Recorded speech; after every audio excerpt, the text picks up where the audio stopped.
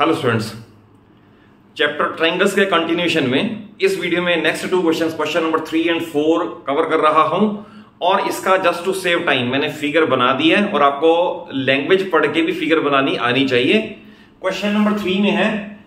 BC and AD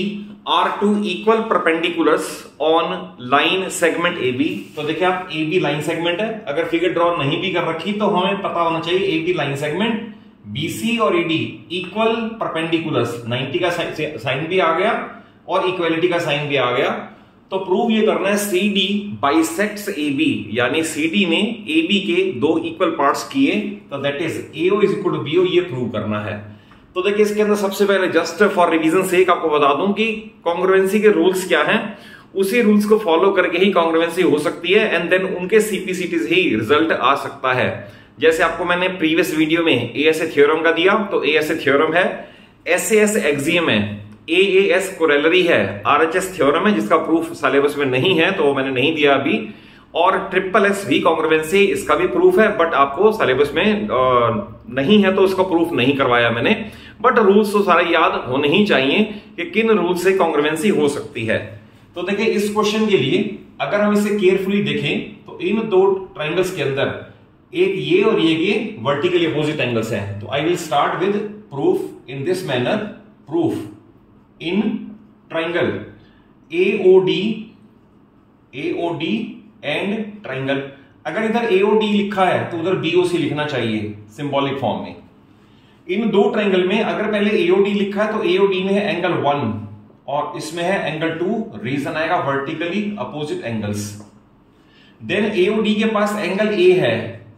and इसके पास angle B है, क्योंकि वर्ड दे रखा है परपेंडिकुलर्स तो इट मींस ईच 90 डिग्री ये भी दे रखा है आपको। एंड देन इसके पास ए डी है एंड उसके पास बी सी है तो ये आपको गिवन है, क्योंकि लैंग्वेज में इक्वल परपेंडिकुलर्स तो देखिए सीक्वेंस भी वही रखें जो कॉन्ग्रुएंसी का रूल यूज़ करना है। Angle angle side is equal to angle angle side therefore by angle angle side rule यानी ए एस रूल हम इनकी लिख लेंगे congruency triangle AOD B triangle BOC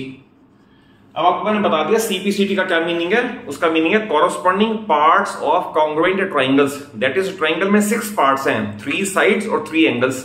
किन्हीं तीन से कॉन्ग्रवेंसी प्रूव हुई होगी remaining three parts can be taken as CPCT तो जैसे इसके अंदर हमने एडी वाली साइड तो यूज़ की बट ये साइड तो यूज़ नहीं की तो it can be taken as CPCT ये साइड यूज़ नहीं की तो it can be taken as CPCT therefore AO is equal to BO CPCT and hence proved तो ये इसका परफेक्ट प्रूफ है इसका, जैसा आपको एग्ज़ाम में लिखना चाहिए। इस क्वेश्चन में देखें, आपको ये देखा है line L parallel Q and line L parallel M and P parallel Q और ए और सी को ज्वाइन कर दिया है। तो आपको प्रूव करना है, इस केस में ये दो ट्रेंगल कॉन्ग्रुवेंट हो जाएँगी। इनफैक्ट नेक्स्ट चैप्टर जब आप पढ़ोगे क्वाड्रिलेटरल का तो उसमें तो पैरलोग्राम की डेफिनेशन ही यही है कि each pair of opposite side is parallel therefore it's a parallelogram और पैरलोग्राम में फिर प्रॉपर्टी है कि any diagonal of a parallelogram divide it into two congruent triangles तो वो उसके अंदर आएगा क्वाड्रिलेटरल चैप्टर में आएगा, जो इसके बाद कवर होगा। बट फॉर द टाइम में यहाँ कैसे करना है, इसका प्रूफ आपको बता देता हूँ। तो we start with proof in this way in triangle जिनकी भी प्रूव करनी है ABC and triangle C D A जो दो प्रूव करनी इन्हीं का लिखे। तो देखिए एबीसी के पास, अगर मैं कहूँ लेटर से एंगल एबीसी के पास यहाँ है लेटर से ये वाला एंगल है। लेटर से एंगल वन है। तो इसके इक्वल सी डी ए के पास यहाँ भी है, ये इट इज़ एंगल टू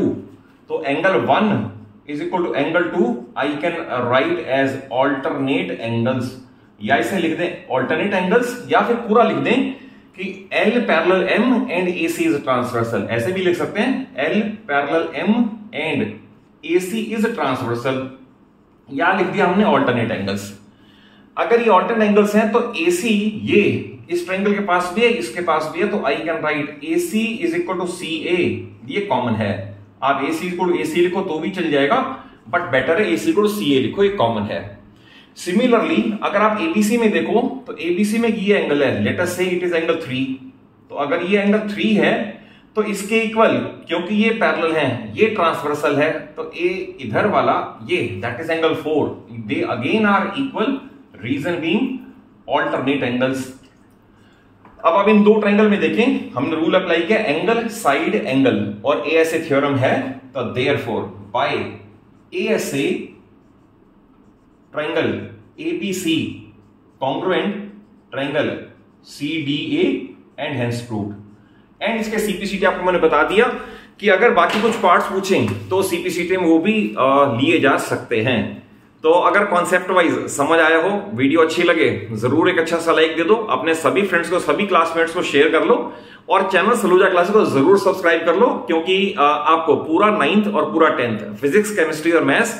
और कहीं हेल्प की, कहीं एड की नीड नहीं पड़ेगी। अगर आप मेरे चैनल की सारी वीडियोस को केयरफुली वॉच करके नोट्स प्रिपेयर कर लेंगे तो ये that is very much guaranteed कि आपको और कोई हेल्प की नीड नहीं पड़ेगी। Thank you for watching the video